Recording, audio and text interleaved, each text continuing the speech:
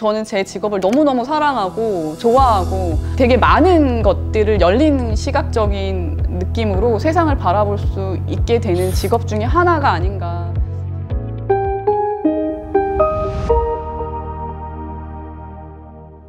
안녕하세요. 저는 최경선 미술 감독입니다.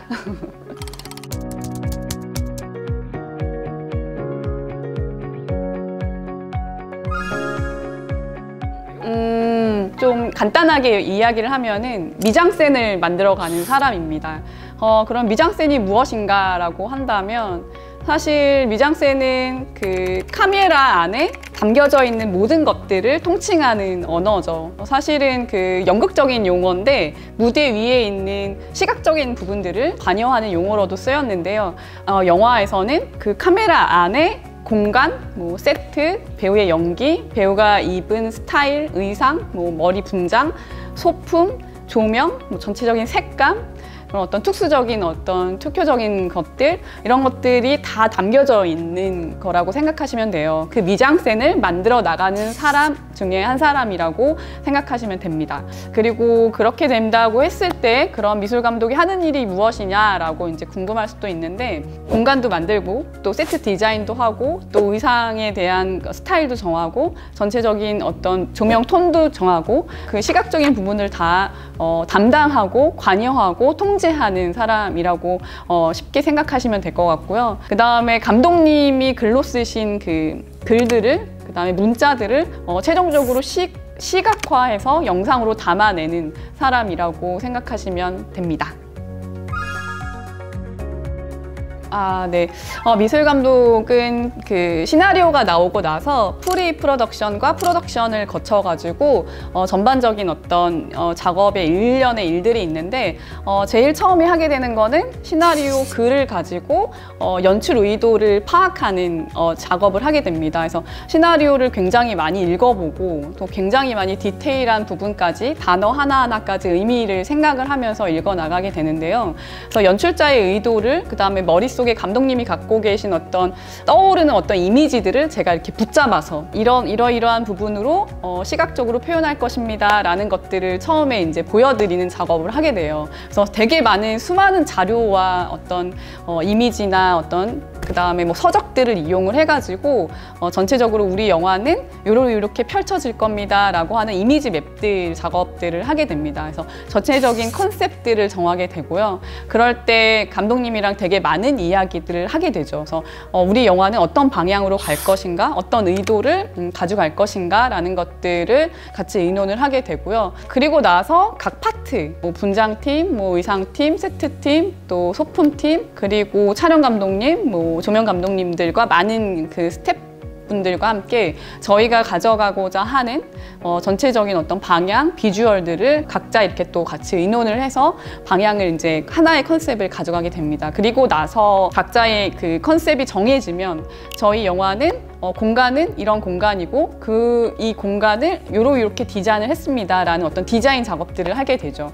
그리고 그 디자인한 것들을 도면화시켜서 설계팀에 넘기고요. 각자의 어떤 소품, 뭐 특수 소품 그런 것들도 다 디자인을 해서 어, 제작 도면을 만들게 됩니다. 그런 것들을 일련의 작업들을 거치고 또 의상이 이제 의상 실장님과 이야기 나누고 어떤 의상, 어떤 룩, 어떤 컨셉, 색깔들을 정해지면 그걸 또 이제 피팅하고 배우들과 또 이야기 나누고 거기에 맞는 어떤 분장 같은 경우도 같이 이제 확인을 하게 되는 거죠. 그래서 일년에 저희가 이런 영화에 저희 영화 의 컨셉이 정해지면 하나의 컨셉으로 각자 다른 어떤 파트들이 협업을 하게 되는 것들인데 그런 거를 다 약속을 지키는 거죠. 조명톤은 이렇게 나올 것이고 공간은 이런 평수에 이만큼의 크기에 나올 것이고 그러니까 그런 것들을 촬영 전에 미리 설계하는 팀이기도 합니다.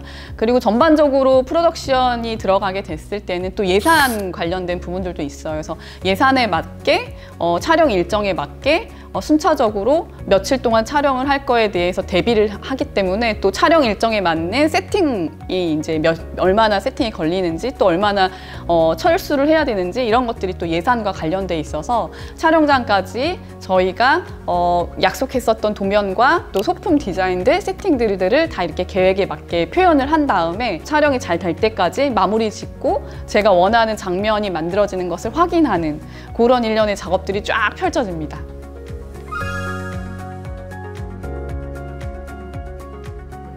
음, 사실 제가 이제 고등학교 때 공부를 하나도 하지 않았어요.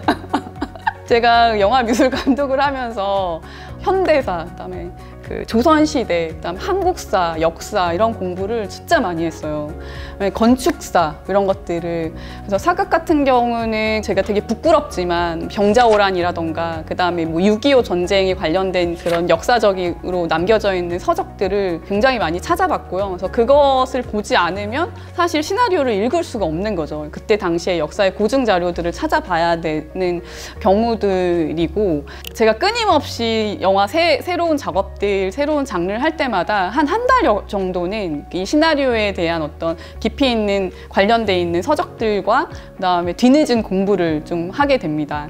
어, 그리고 이제 건축 같은 경우는 시대마다 또 그때 유행마다 좀 다르게 이렇게 쭉 펼쳐지기 때문에 어, 어떤 작품을 만나느냐에 따라서 또 다양한 어떤 건축 양식들을 또 찾아보기도 하고 그래서 제가 약간 새로운 장르를 또 새롭게 시도하는 거를 또 좋아해요. 그래서 한 번도 해보지 않은 장르를 이렇게 선택을 해서 그 다음 작품으로 이제 만나게 되는데 그럴 때마다 음, 뒤늦은 공부를 하기 바쁩니다.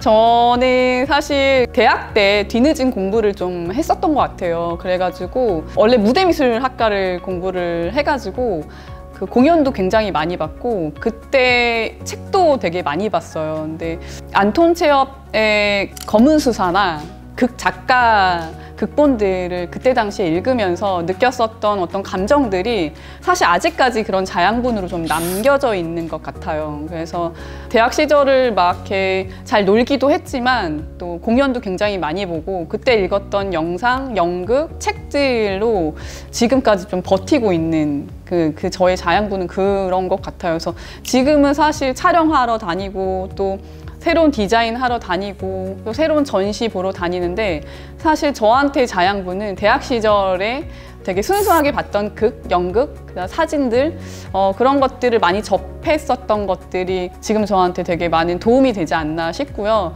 저는 약간 영상물보다는 이렇게 소설책 읽는 것도 되게 좋아하고 그래서 책에서 나오는 어떤 지문들, 뭐 설명들 그런 아이디어들이 곳곳에 제 영화에 담겨져 있어요.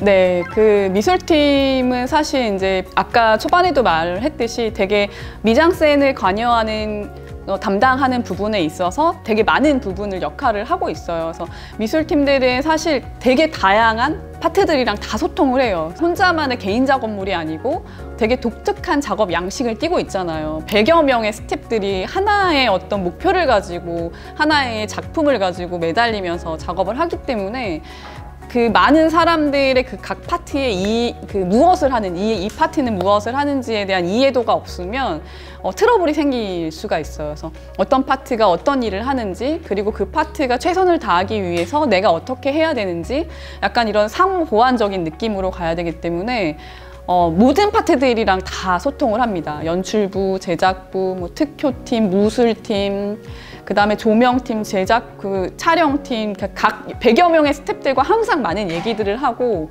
그래서 저는 이게 사람에 대한 이해도가 꼭 있어야 되고 사람에 대한 인정이 좀 있어야 이게 작업이 어, 재밌고 즐겁지 않을까 싶습니다.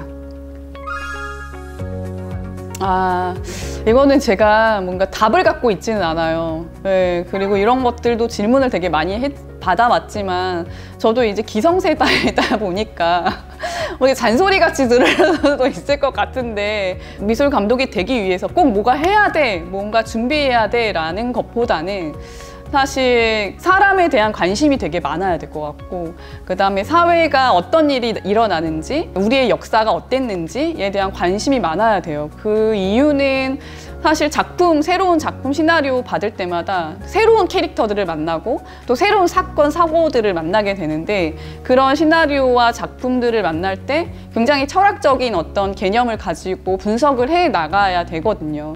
근데 그거를 나는 작품 분석을 하기 위해서 어떤 방법이 있는 건 아니고 내가 사람한테 관심이 많고 사회에 일어나는 일들에 좀 진정성 있게 이렇게 살펴볼 줄 알면은 사실 어떤 작품이 와도 깊게 시나리오를 읽어나가지 않을까 싶고요.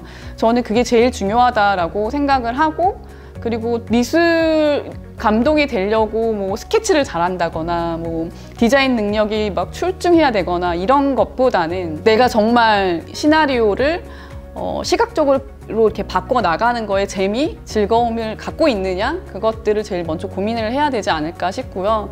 정말 재미있고 즐겁게 현장에서 나의 어, 창작을 표현할 수 있는 준비가 되면 되지 않을까 싶습니다. 너무 약간 추상적인 얘기하긴 하지만 내가 좋아하는 일을 하겠다고 달려들면 안 되는 일이 뭐 있겠습니까?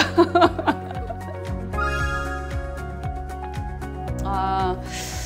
어, 너무 사람에게 좋은 직업인 것 같아요. 왜냐하면은 저는 제 직업을 너무너무 사랑하고 좋아하고 아직까지 막 부모님들이 걱정을 하시는 이 직업이긴 해요. 스케줄도 되게 복잡하고 되게 오랫동안 지방 촬영을 하면은 집에 좀 떨어져 있고 불규칙한 생활을 하기도 하고 뭐 나이트 촬영하면 잠도 못 자기도 하고 좀 고되고 좀 사람들이랑 막 부딪혀서 또 그 힘든 점들도 있고 분명히 그러나 제가 이 직업을 사랑하는 이유는 어쨌든 극 속에서 되게 많은 캐릭터들을 만나면서 저도 되게 풍요로워지고요. 주변을 조금 섬세하게 바라보게 돼요. 그러니까는 제가 엑시트 할 때 영화를 준비하면서 옥상이랑 옥상은 다 다녀봤거든요. 근데 그 옥상에 또 다른 세계가 있는 거예요.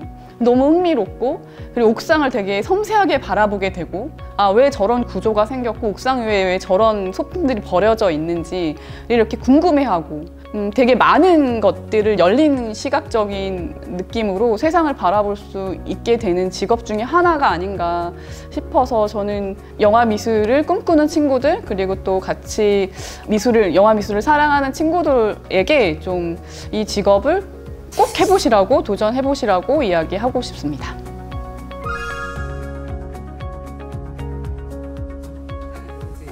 대작.